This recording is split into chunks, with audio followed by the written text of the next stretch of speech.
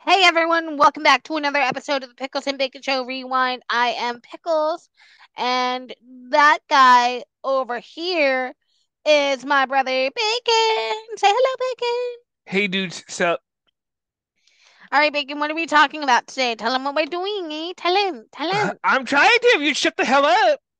So we were talking about the book by Henry Winkler called Being Henry, The Fonz and Beyond. It's basically talking about his life from stardom to when he became that little known character from that TV show, little small tiny little TV show called Happy Days. Never heard of it. Okay, okay, nice, nice. And uh, did you uh you read the book? Excuse me. Yes, I've read the book. I read the book, and there's quite some interesting stuff. Excuse me, in there that we're going to talk about today. One of which was something that I kind of knew, but I didn't know the full story on. So we're gonna jump, just jump right in if you're ready. I'm ready. Let's go. Okay, so first a little synopsis. So the book was written, uh, I believe earlier this year by the amazing TV star Henry Winkler. Um, he talks about his childhood. He talks about his his life on Happy Days, and beyond that, and how he couldn't get work for a while, and then he finally got work with a show called Barry. So I just want to touch on that. And then my first thoughts, my first overall thoughts is I just want to say, first of all, to him, if he's listening, which I highly doubt that, or if his kids show him this, or some way if he ever gets to see this, I just want to say to him that I'm sorry for how he was treated by his parents. Like the way his parents treated him, like I I felt his pain so much in a lot of the things you're saying of how they treated him and how they they were so abusive to him being that he has dyslexia and that to me really hurt so again, I just want to say my humblest of apologies to him and send lots of love his way. And so that's my overall thoughts about the beginning of the book. Now, I just want to say that he's had a career sp- spanning decades, from 70s with Happy Days to currently with the show Barry. Now, I'm going to let you t- touch on your stuff a little bit because I already said my piece, so I'm going to let you touch on yours and kind of take us to where you want to go. All right. So, um, I learned a lot from Henry Winkler in this book. Um, I just took a few things that I pulled from the book, um, that I really noticed. Uh, like the catchy tune at the at the beginning of the book. Uh, I listen to audiobooks, you guys, because I also am dyslexic and words are hard, and um, so I prefer listening to other people read me their books. So Henry Winkler uh, narrated his own book, which I love. His voice is very soothing, by the way. Um, it's very soft, and um, I noticed um, that he dedicated the book to his wife's uh, Stacy. They've been married for 47 years, which honestly, like in this day and age, more power to you because like I cannot for the life of it just ugh. And goals. Like honestly, goals. Um, so the first thing that I re- really grabbed from this book that I noticed uh was the 1973 casting for Happy Days. He said was the biggest day of his um life for his audition.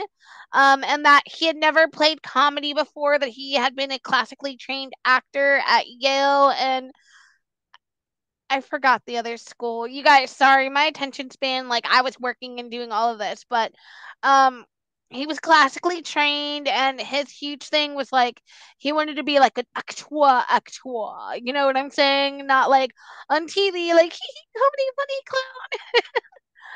um and then the next thing that I um grabbed was that Henry Winkler was 27. It had had long hair down to his shoulders at the um audition for Happy Days. Like, someone show me a picture. Someone show Hold me on, a I video. oh I have pictures. Hold on a second, because uh, now if you listen to the book, he says that he started right after the Mary Tyler Moore show. So I saw that. So I saw that episode, and I was like, uh huh. I was like, I, I know exactly what he's talking about. Oh, I want to see that episode. By the way, the uh of the Mary Tyler Moore show. Uh, Mary Tyler Moore is an awesome lady. By the way, she's badass. Like way ahead of her time.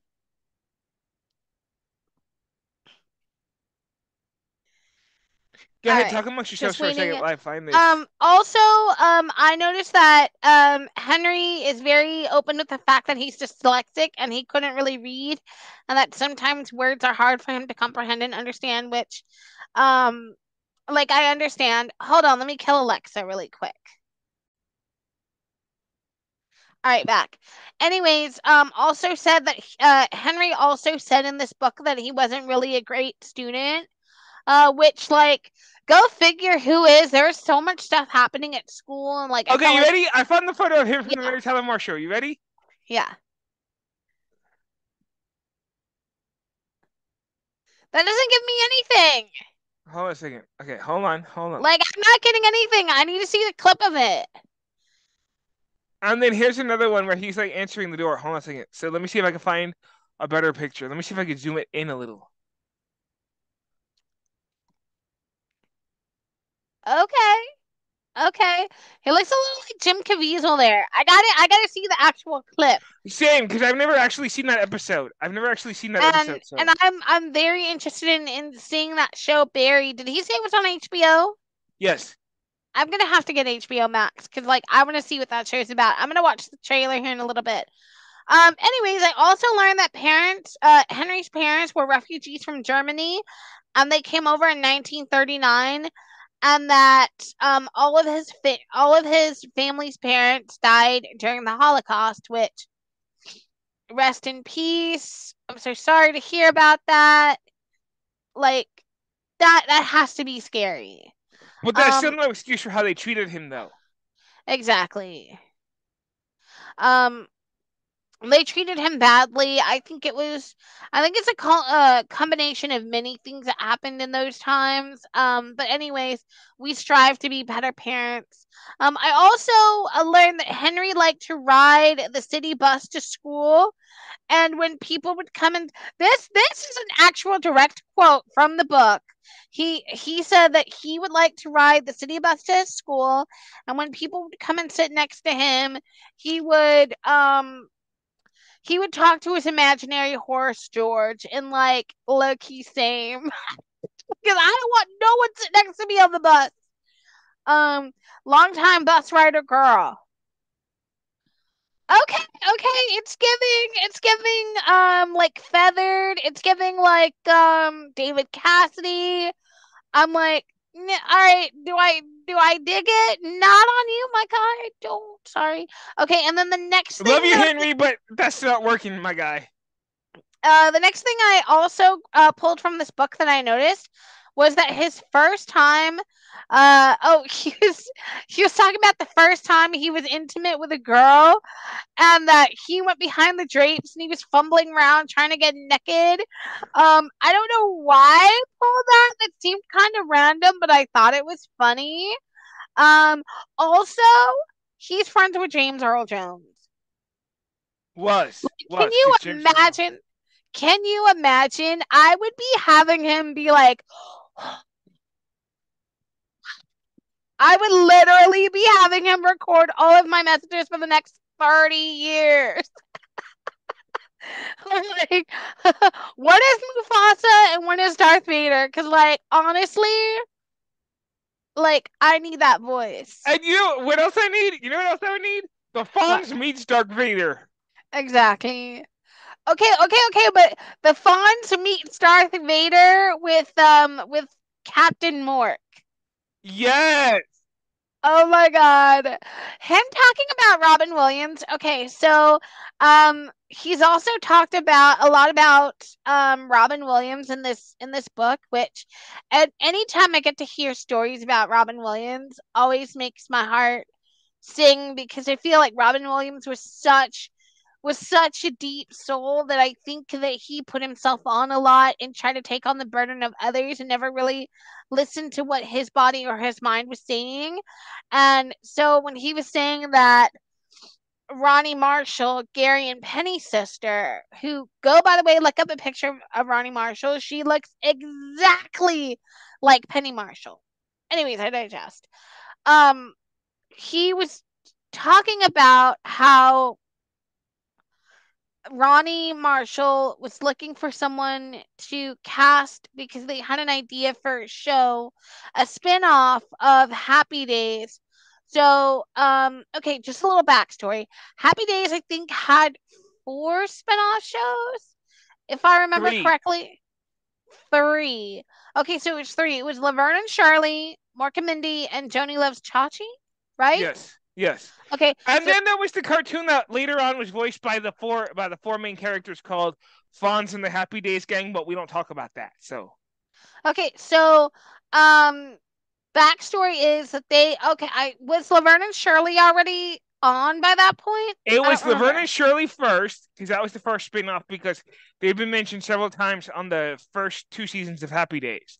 So it was them first, then Mork and Mindy, and then Joanie Loves Chachi. Okay, so um Henry Winkler says in the book that Gary Marshall's son came up with this idea that he wanted to see an alien on a TV show and what it would be and what the alien would be like in the real world. So Gary Marshall's like, okay, great. He took the idea and he ran with it. So they were trying to develop the concept for what would become Mork and Mindy. And Ronnie saw Robin Williams out on the street I guess making people laugh or doing some kind of impressions or whatever, and she hired him on the spot. And Gary and Henry would say Gary Marshall would be like, "You just hired this kid off the street," and and Ronnie uh Ronnie Marshall said, "Well, his hat was full," and I was like, like goals, but I'm like, And then the chemistry that he said that they had together, because he said that uh, when he was reading with all the other people, he said they, they didn't have no chemistry. He said so. Gary Marshall told him to come in to read with with um, Robin Williams. He said, and it was like instant magic. That's what he said. Yeah, he said it was like instant magic. Um, I've only ever seen a few episodes of Mork and Mindy. Um, but I but for the sake of this podcast, I think I could go back and watch it. If I have to see if it's on Amazon Prime. Fonzie's on the pilot. Fonzie is on the pilot of that, so that's really cool. So so uh if he's on the pilot, I'll watch it. Um we'll definitely add Happy Days to the list of shows that we're gonna review. Um I was gonna add a couple others, but Deke and I were like, we can't sit through them. We'll just like no. Anyways, um so Here's the money shot. Here's the money shot right here. Okay, okay, so go I'm gonna go back to where I was because I just I wanted to talk about Robin Williams. Anyways, so he's friends with James Earl Jones. Okay, get this. This I pulled directly from the book too. He rented a place in New York in the 70s, and guess how much he paid for rent?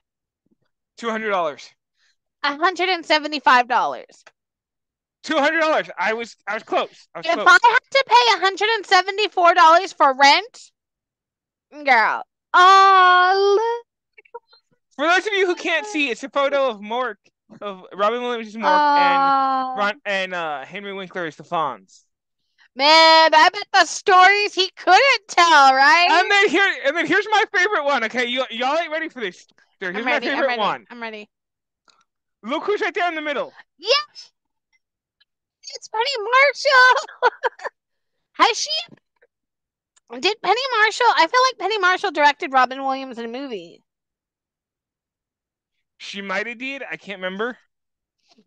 Anyways, uh, we'll come back to Robin Williams later because we're gonna do the Birdcage and Mrs. Doubtfire, but that's gonna be down the line because right because we're giving gearing up for October and October's gonna be super busy.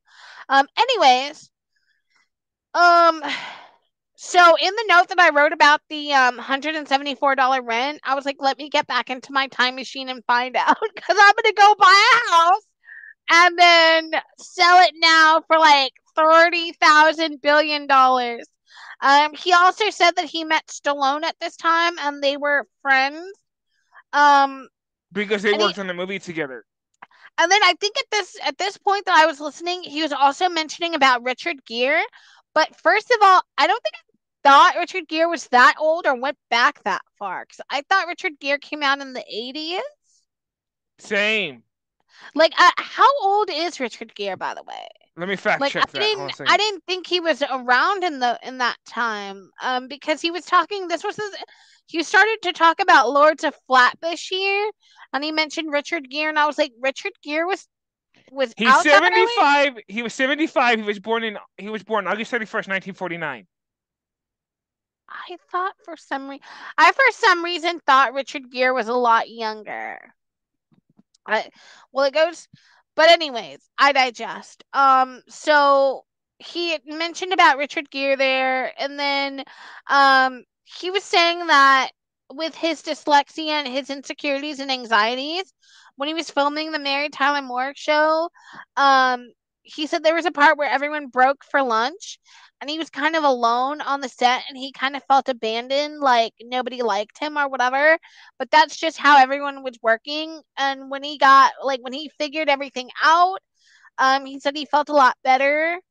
Um i noticed you talked about the legendary joan scott his agent in the film in the um book. And then um so he goes back and forth mentioning happy days and like all of his things but then um at one point he said henry got his audition for happy days from his appearance on the mary tyler moore show which stan i still got to see the clip. I didn't look it up. Um i also noticed that um he said that he never felt happy on the holidays and that his family's apartment felt dark, which I kind of feel that. Like I understand that part. Um he also he mentioned at one point spending Thanksgiving with his girlfriend in 1972. I honestly don't know why I wrote that down, but I just I thought thought that was interesting. Fun fact, Henry Winkler smokes weed. Let's let's contemplate that for a second. Okay, so I've learned not only does Henry Winkler smoke weed, okay, but get Deke, are you ready for this? I'm listening. Connie Chung smokes weed. You didn't know?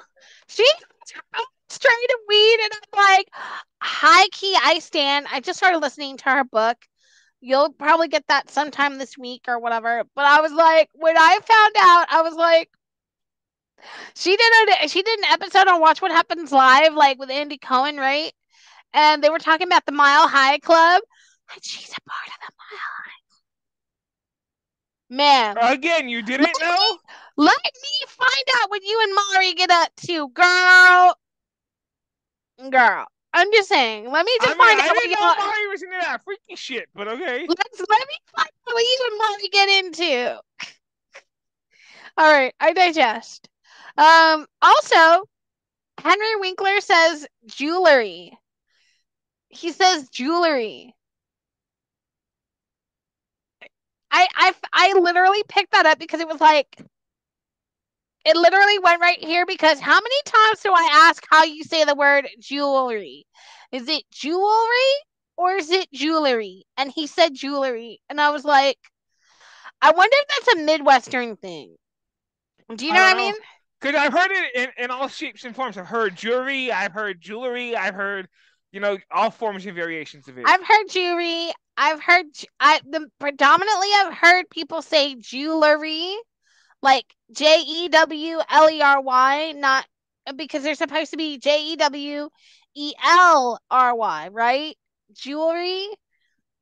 I don't know. I'm I just wonder where that comes from because I've I've heard it called jewelry. Anyways, um, he's also very money conscious and he has anxiety uh, which I noticed, uh, which I noticed that he mentions a lot. Um, I could and... tell because in Happy Days, like, you could tell that there's times on Happy Days where like he'll be standing there and like he's kind of nervous to say to say his line, and then like you could tell that Ron Howard's kind of like coaching him, like telling him, "Hey, it's okay," like because there's there was this one episode, and I can't remember which one it was, and he says something, and then he kind of looks to to Ron Howard for uh, for guidance. And then when Ron Howard says his line, like then he goes off and he's like, "Oh, okay." He's like, then you know, and like you, he's got that sense of like satisfaction, like, "Okay, I did it correctly." So you know. Yeah. Um. He also mentioned that he had an embarrassing bar mitzvah. Um, and he also explains that it's like a 13 year old boy or 13 year olds coming of age because I think the girls get this in the Jewish community too. I don't know, but I would love to be invited to one, please. Anybody invite me to your bar or bat mitzvah? Anyways. Um, and then uh oh, okay, so I think I should mention this too because I learned that the Happy Days were supposed to be predominantly around the Cunninghams and Richie show, and it was supposed to be Ron Howard's show. But I think it's season three. Henry said that Fonzie became a full cast member. Yes. Is that true? Yes. Okay. So in seasons one and season two, you'll notice when you watch it, Fonzie's not a predominantly big character in these in these seasons. It isn't until season two, episode I believe nine, where he becomes more of a driving factor of the show. And then by season three, he moves in with the Cunninghams. And then later on in season three, uh, the producers and Gary Marshall came to him and were like, "Hey, you know, so we're thinking about kind of changing the show, and we want to make it more around you. So we're gonna call it Fonzie's Happy Days." And he said, "Absolutely the hell not." Yeah, because I remember him saying that he felt very conflicted because it was definitely Ron Howard's show. And he'd become really friendly with Ron Howard and he didn't want to step on anybody's toes. And Ron Howard had been like uh, so professional since like the very beginning. Like when he was a little guy in the Music Man, um, uh, you know, and on on the Andy Griffith show, like I feel like I know what that is, but I don't know what that is. Never seen it. I've never, never seen it before seen in my life. Um the and then so Gary so also Henry says at this point that um because this was happening um Gary tried to smooth things over by creating a Happy Days softball team which I'm like okay as long as we don't have to watch the jumping the shark episode again cuz that was a nightmare. Um and then I also you didn't like that episode either. Um, also in this book, um, the narration, um, he also lets his wife, um, speak. Uh, her name is Stacy. She introduced herself. She's smart, sensitive. Uh, they, um, uh, let's see. They, she had a son named Jed when they first met uh, which was which I thought was kind of cool. You know, he like he's got that whole redhead thing going on. Um, he also mentioned okay. He also mentioned that he's um the godfather of Ron Howard's daughter Bryce. Whoever that bitch is. Again, I feel like I should know that name, but I don't. Like, I feel like I should know who that is, but I don't. I do know who that is, by the way. I love. Bryce I'm gonna come for her whole soul right here. Miss Ma'am, Miss Ma'am, the way you treated it, is it Emma Stone in, in the help, Miss Ma'am. You and I uh, have a misunderstanding. Ma'am, I the whole time I'm all like, and you know, I'm thinking down right there. I'd be like, we're gonna review, we're gonna review the book to help. I think at some point. But, but I get to be Ringo. Okay. Um, Henry also loves dogs. He says that again. Um, let's see. Oh, the okay, so the jumping the shark thing, you know, I'm surprised that actually he mentioned it in the book because this was what was it the fifth season he said? Yes. Okay. So Which was gonna be originally the, the last season, but then they made him sign for three more seasons and he didn't want to. He said if Ron Howard was gonna leave, he wanted to leave, and they wouldn't let him. They said that he was contractually obligated to do three more seasons. So um from what I understood, um, Happy Days had eleven seasons. Um, but the jumping as as far as jumping the shark, um, that was supposed to be like how did he describe it? Something that Fonzie said that he was doing because of a bet. a bet. Do you remember what that episode? You guys, I don't. I've okay, so okay, well, I'm more the Happy Days fan than she is. To be honest, you you guys, we're not gonna lie to you. I'm more Happy Days fan than she is. Like she she's a fan of Henry Winkler. I love the show Happy Days. So we're kind of uh together on that one. But basically the whole thing is is that um the Cunningham family goes to Hollywood because Richie's offered a role in a movie or no, Fonzie's offered a role in a movie to be like a James Dean type. So then so then it ends up reverting to where it becomes Richie being um the the star like they want him to to to uh, come in and audition and this, you know, it's like, you know, and then Fonzie's having that moment of being like, okay, but you know, it was supposed to be me. Why are they choosing you? You know, that kind of thing, right?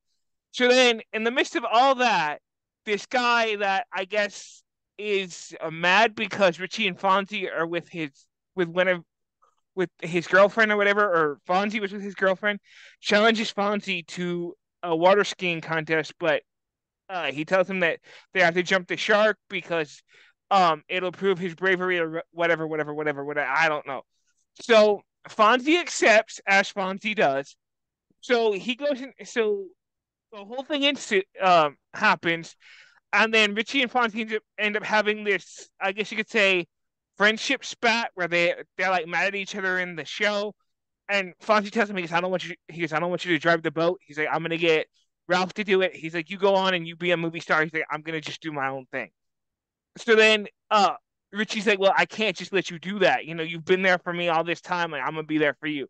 And he told him, he said no. So anyway, make a long story short, it ends up being Richie and Fonzie. Uh, Richie drives the boat, Fonzie does the water skiing thing. And so he jumps the shark, which is hella ridiculous. I'm sorry, like again, Henry, I love you, but that was hella ridiculous. Oh, yeah. Okay, so the next thing that I wrote, okay, so you know what I'm about to say. Do you know what I'm about to say right now? No. The next part that I pulled from this thing was Henry met Paul McCartney. Oh, hold on right there, guys. Pause for just a second. I gotta use. Hold on. Pause a sec. I gotta use the restroom. Hold on.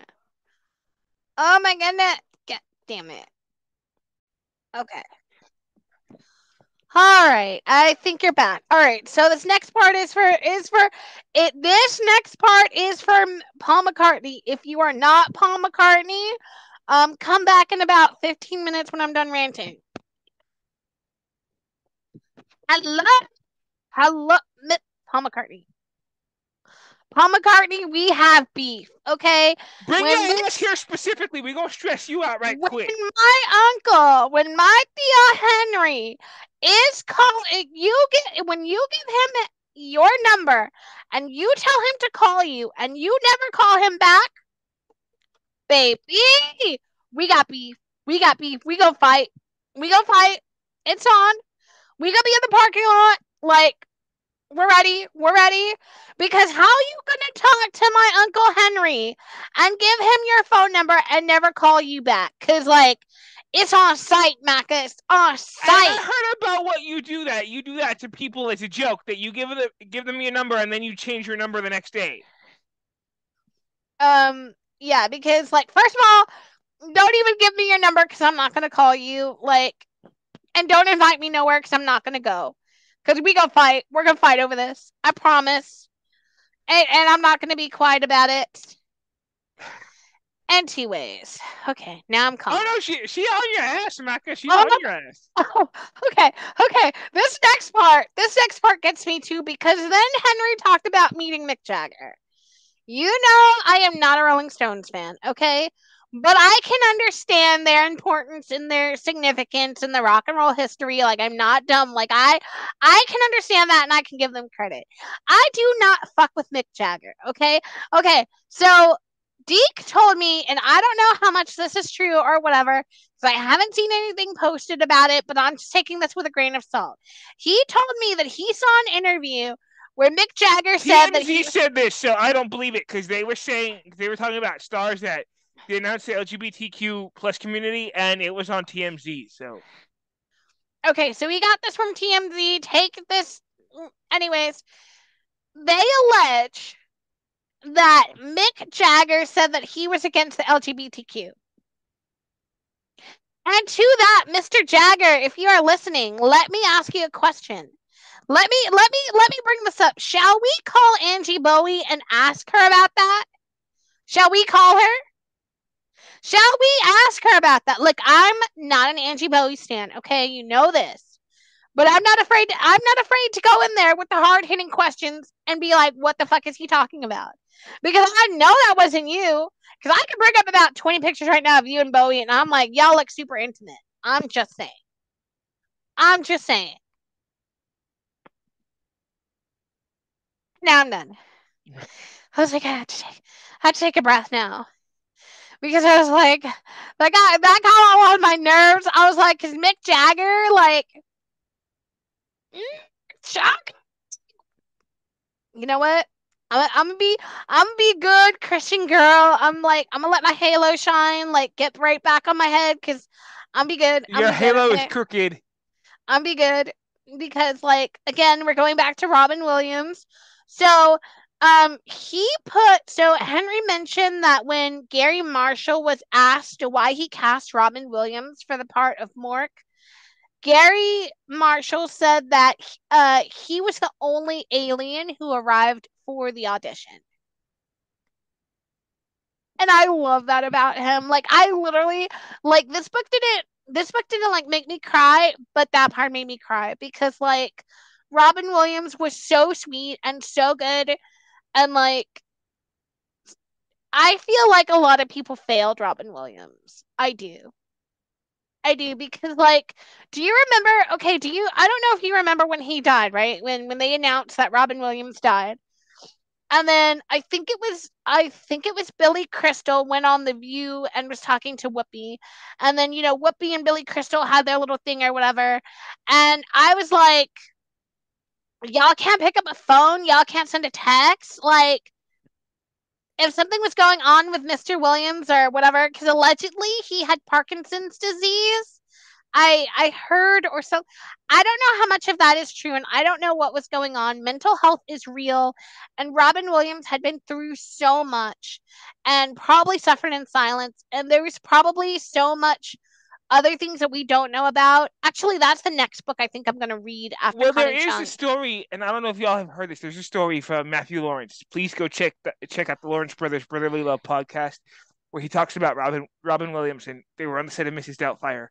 And he said that he said after they were filming, he said because it was I forgot what scene he said it was, but he said that you know he would Robin would let the kids go into his dress into the trailer, and you know he would play with them and engage them and whatever and like do all these funny voices.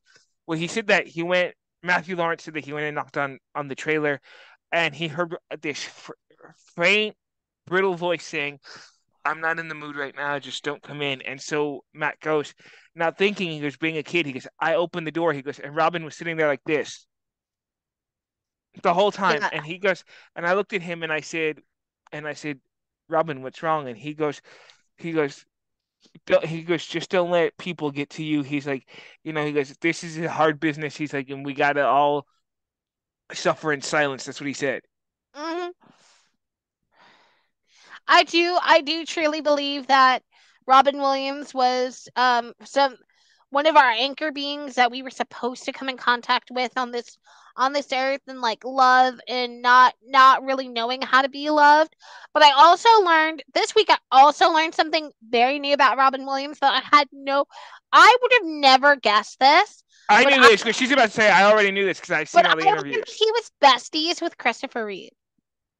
Like you, like these two people are in such different categories as actors. Like you wouldn't even think these two people like go together. But then when you like when you see it, you're like, I get it. I totally get it. You're like, "Totally it," because it's supposed to be like this. Is Sup- is Superman supposed to be besties with Mork? I mean, it makes sense. It makes sense. You know what I'm saying? Like of all well, the the things. planet Ork was like a planet that was uh that was right next to Krypton. Krypton. So it makes sense. Like it makes sense. And I didn't even know. Okay, you guys, you guys. I am not a DC stan. Okay, so I've never seen the Superman movies. I saw the Man of Steel, and I, I with with Henry Cavill.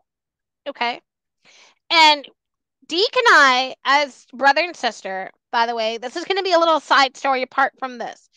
I was telling Deke when I was okay, so this whole apart from Robin Williams and that coming up, but I was telling Deke that in our timeline, right, we have uh, different memories than what our parents would do, right? So, like, my mom and my dad would have known Christopher Reeve as Superman, right? But in our timeline, we know him as, you know, he was the quadriplegic, but we knew that he was Superman in some sort of capacity and that he had he was an actor previously and this uh, this accident happened and that's what we knew him from his activism right for the disabled community and research things like that but I was like, and then now in this new timeline, now we have Henry Cavill as Superman, and I was just like, it's so different. It made me really think a lot about like all the stuff that we witnessed and like stuff like that. Anyways, there's a documentary that's coming out by the way that I want to see about Superman. Anyways,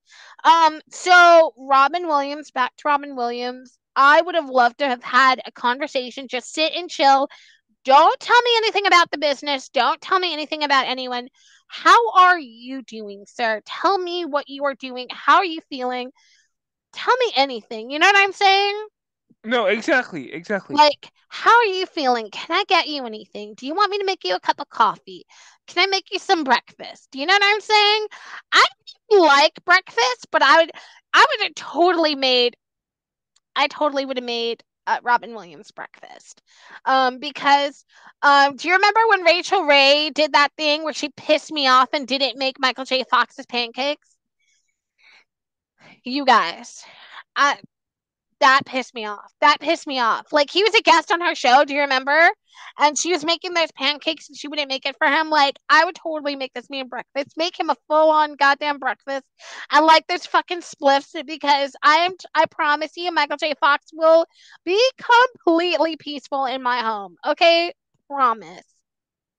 I promise. He's You know another one we need to protect at all costs. We Michael need to wrap this man in bubble wrap and make sure that he's protected at all cost because I would love to see I would love to get a chance to meet him one day and be just like, you know, I so when we went did you see the documentary that he just released a couple of was it uh, last year?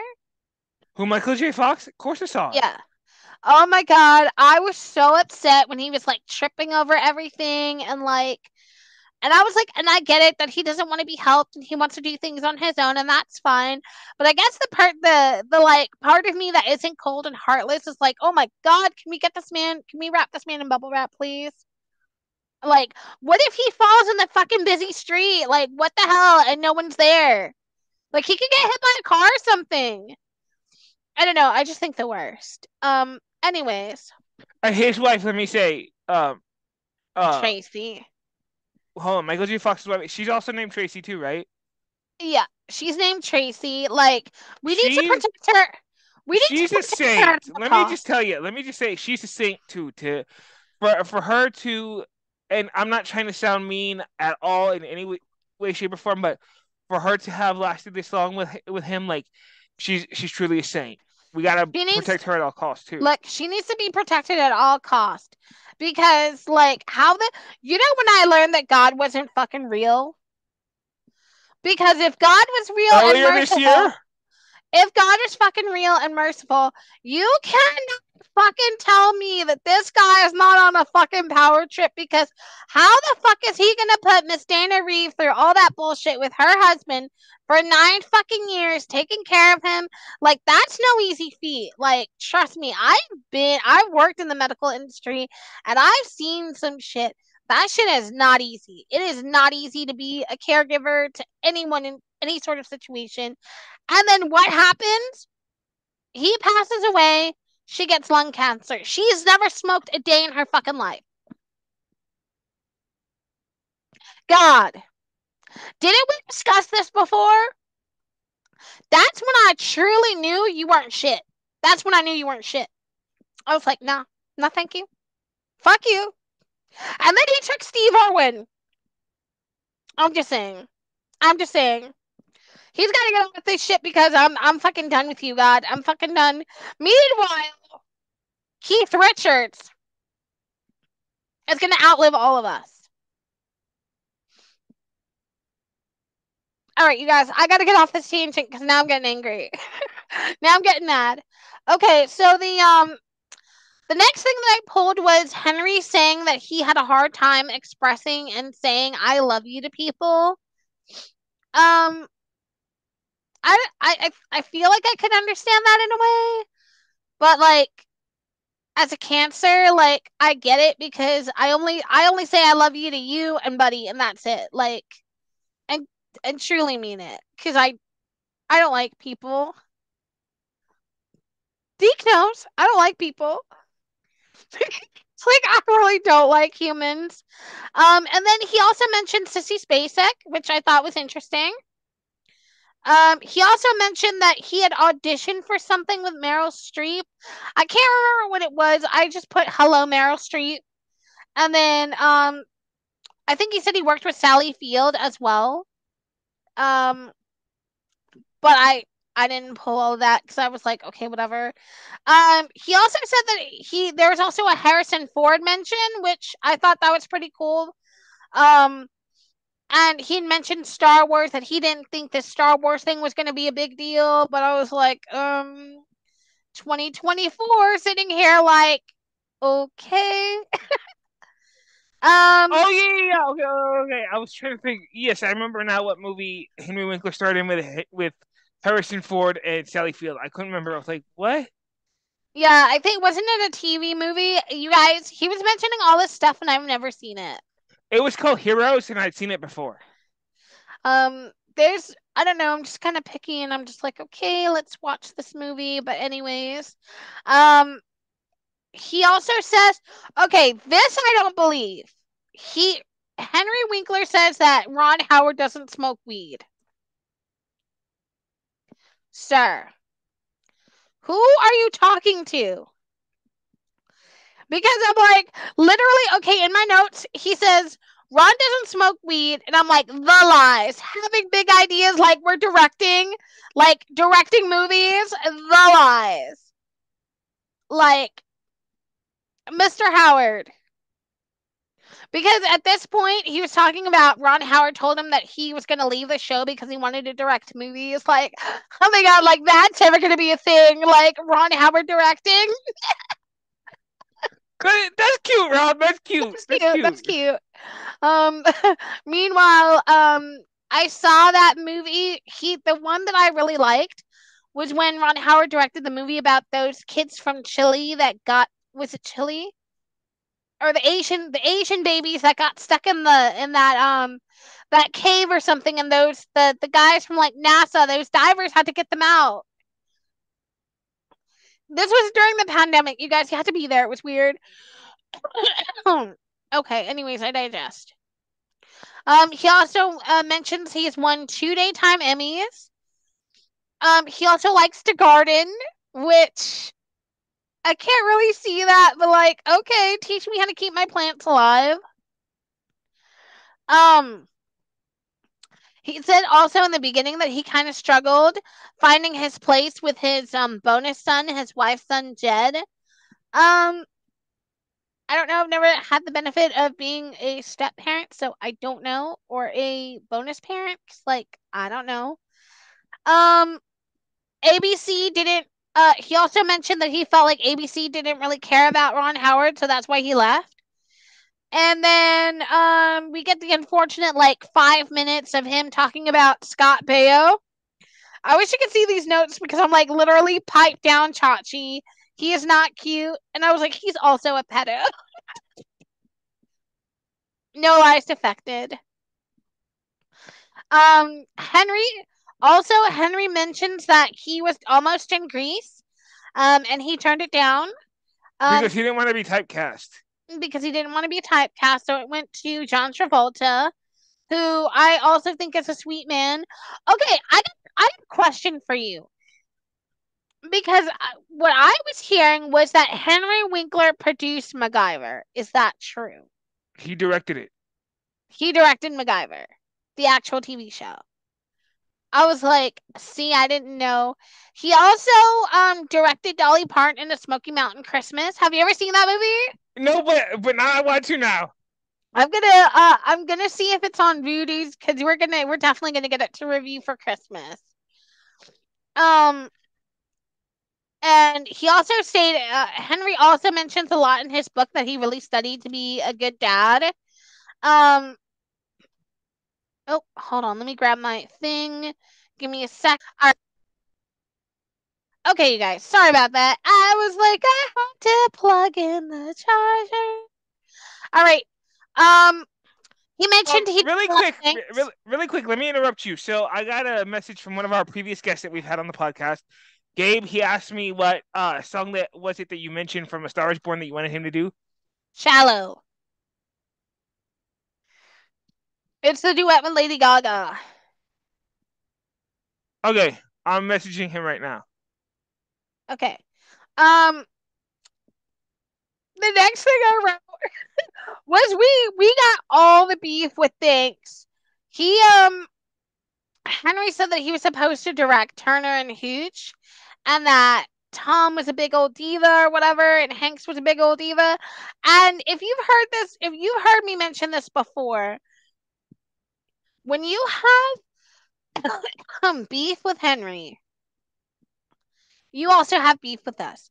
But not you Thanks has beef with Big Bird, and that just doesn't sit well with me. So it's on. It's on. Um, he also mentions working with um, Katharine Hepburn and having a very interesting dinner with Bette Davis, which high key I stand. That was um, cool. When he said when he talked about Bette Davis, that, that was cool. He mentioned Ron Howard owning Imagine Entertainment, which I don't even know if that's still around. Mm, I'm not sure. Um, he also mentioned now this I was unclear of, but it sounded like he directed um the movie Cop and a Half with Burt Re- Burt Reynolds. Is that true? I couldn't tell you. I've never seen it, but I think so because I've never seen it. Oh, and um, Henry Winkler is the principal in the Scream movies. Like the first Scream, the, the first the one, the first one.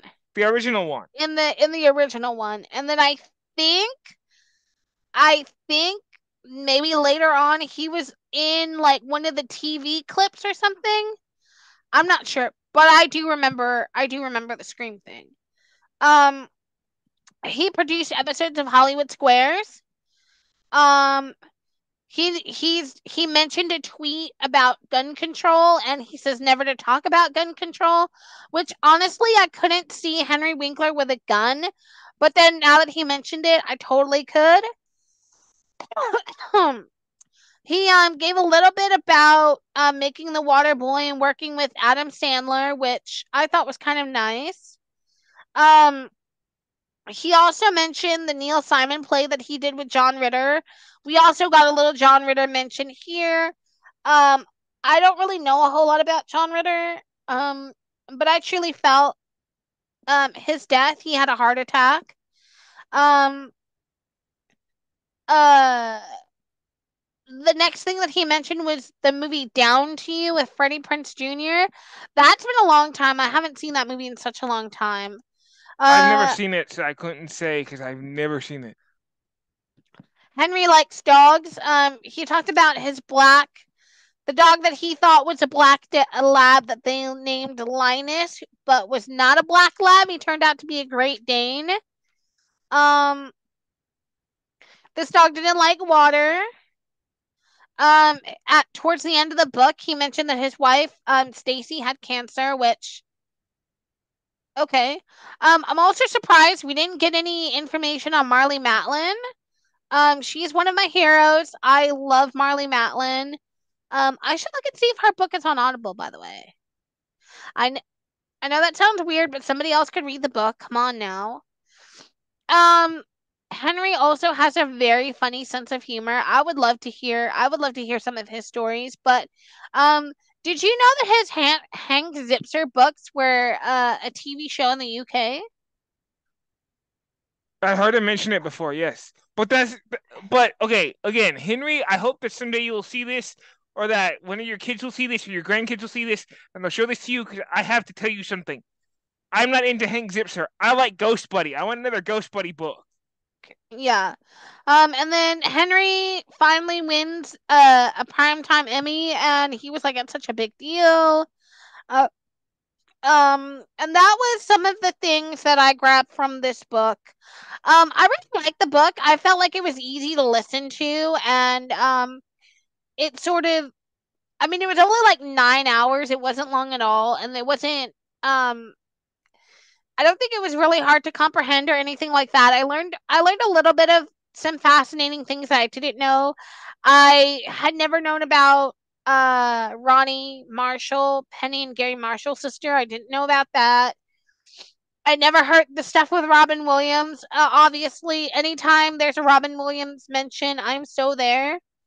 Um, because uh, Robin Williams was amazing. Um, but yeah, that was what I got from the book. So, what would you rate this book, Deke? Is this one of your favorite books that you can listen to like every year, or? Yes. Um, up until I he- finished the John Stamos book, because I'm listening to John Stamos book. If you'd have told me, and um, since this ain't about you, John, this is about Henry Winkler. So with this book, I'm gonna rate it. I'm actually gonna give it the highest rating ever. I'm gonna give it ten point ten.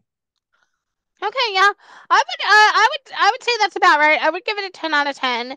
Um, is this something that I would go back to? Um, I don't know if I would go back to it. Like as far as books that I like to try to read every year. Um, maybe in a couple of years I'd revisit this book. Um, but I don't know. Like I heard it and it was good. I liked it. It was easy to like understand and like um understand what he was going through and things like that. Um I would give it probably I would say it's like an 8. Okay, I'll be generous and give it a 9. Um I felt like you know, we did learn some new things about him that we didn't know. He told some some great stories about like Robin Williams and like John Ritter and like things like that. Um that doesn't necessarily like really mean anything in the grand scheme of things. Um he's lived a he's very he's lived a very interesting life, which is which is interesting. Um I haven't read any of his kids' books because my kid is 17 um and wasn't really into those books.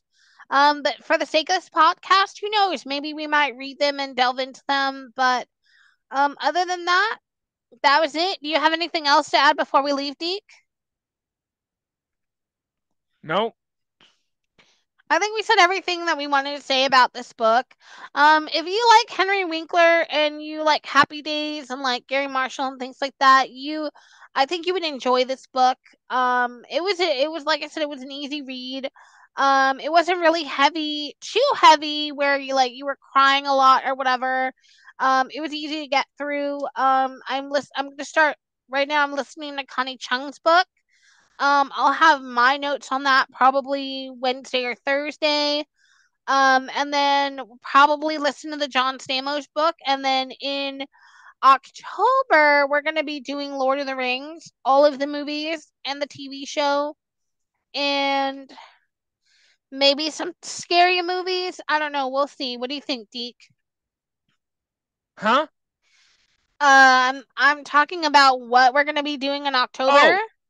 Oh, yeah, I would say I would say yeah, I would say we'll we'll do the um the um Lord of the Rings. Lord of the Rings, yeah. We're doing the Lord of the Rings books and uh, movies. Um, and we're gonna. We're, there's a lot to cover with the Lord of the Rings, so we're gonna try to take it easily. But anyways, um, be nice to each other. Remember to like, comment, and subscribe. Um, by the way, thank you all for the 300 uh whatever views it was that we got on the Imitation, Imitation of, of Life Life. video. Um, that we had an interesting discussion about it, and that's what we do here. We're not like a review channel, even though even though we do review because we like talk about things that happen in certain movies, but we're not like that other format.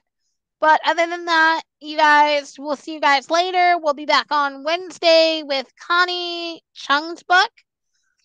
And then maybe John Stamos' book to close out. But we'll see what happens.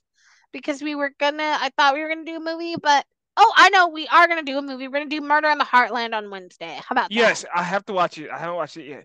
Which by the way, y'all, fascinating fact, that's not available on DVD, and I really want to see the DVD of it. It's not. We um we have to watch it through YouTube, but we'll discuss that on on Wednesday. Anyways, Wah, bye wah. guys. Bye. Wah.